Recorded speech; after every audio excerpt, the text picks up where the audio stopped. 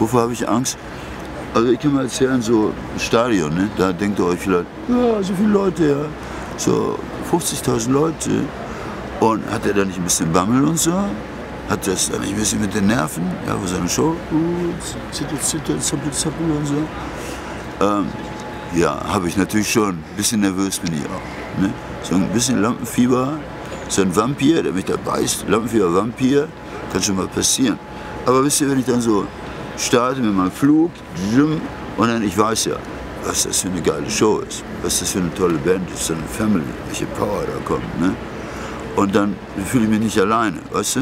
Denn sonst könntest du dich manchmal ein bisschen allein fühlen. Das Kerlchen da mit dem Hütchen da und so, ne? und da kommen 50.000 Leute dahin. Aber wir ziehen das ja zusammen durch. Und außerdem Publikum auch, die haben die ganzen Texte drauf und die feiern auch ihre Songs und ihre Freiheit und ihr Panikfeeling. Und deswegen denke ich, ich bin da nicht alleine. Wir machen das zusammen. Und dann haben wir auch keine Angst mehr. Okay? Volker Alfter, aus welchem Quadranten der Galaxie kommst du? Das ist natürlich ein Geheimnis, Volker. Das ist geheim, geheim.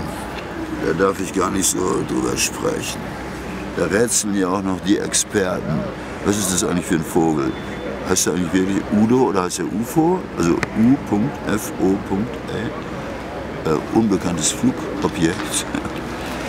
Ich weiß ja selber immer noch nicht so ganz genau, wer ich so genau bin. Also ich bin so, so auf der Suche nach mir selber auch dauernd gewesen und so und es geht auch weiter.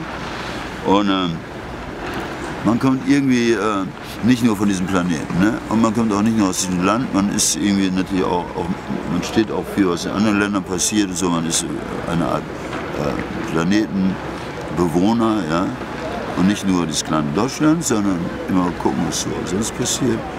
Und ansonsten die geheimen Kräfte des Weltalls.